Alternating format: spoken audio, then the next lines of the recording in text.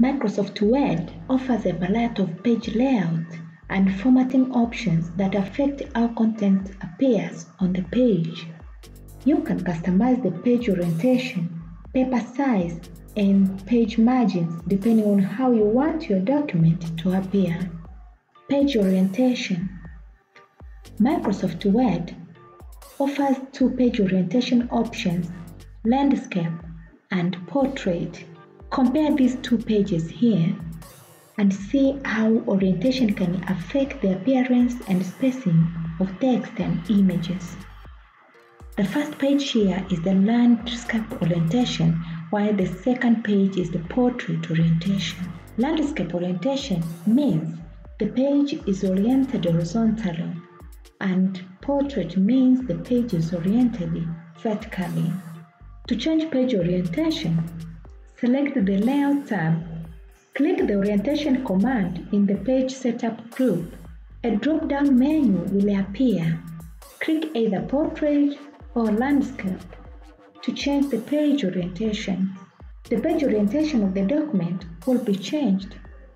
For example, if you want to change this page orientation to Landscape, click on Landscape and click on Portrait to change it back to portrait orientation.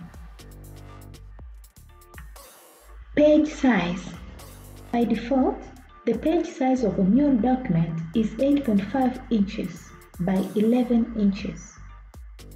Depending on your project, you may need to adjust your document's page size. It's important to know that before modifying the default page size, you should check to see which page size your printer can accommodate. Microsoft Word has a variety of predefined page size to choose from. Select the Layout tab, then click the Size command. A drop-down menu will appear. The current page size is highlighted, this one here. Click the desired predefined page size, for example A4. The page size of the document will be changed and now the size of the, this document has been changed to A4. This one here. To use a custom page size, Microsoft Word also allow you to customize the page size in the Page Setup dialog box. From the Layout tab, Click Size. Select More Paper Size from the drop-down menu. This one here. The Page Setup dialog box will appear. This one here. So you can adjust the value of width and height and when done, click OK. The page size of the document will be changed. Page margins. A margin is the space between the text and the edge of your document. By default, a new document's margin are set to normal, which means it has a 1 inch space between the text and each edge. Depending on your needs, Word allows you to change your document's margin size. To format page margins, Microsoft Word has a variety of predefined margin size to choose from. Select the Layout tab, then click the Margin command this one here.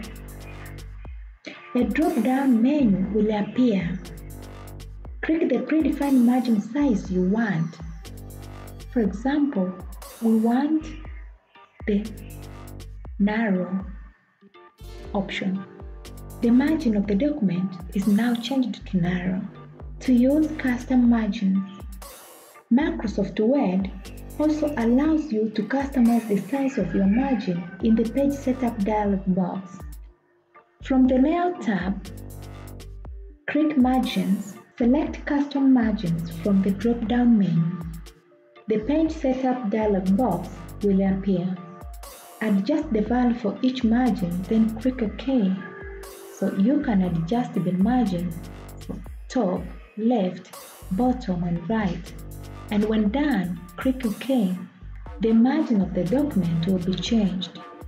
You can also open the Page Setup dialog box by navigating to the Layout tab and click the small arrow in the bottom right corner of the page setup group, this one here, and you can change the margin as you wish. When done, click OK. You can use where this convenient set as default feature to save all of the formatting changes you have made and automatically apply them to new documents. This one here, you can click on set as default. So means for any new document, we'll use these settings. When done, click OK. Thank you for watching and this is the end of our lesson on how to customize the page orientation, paper size and page margins. See you in the next video.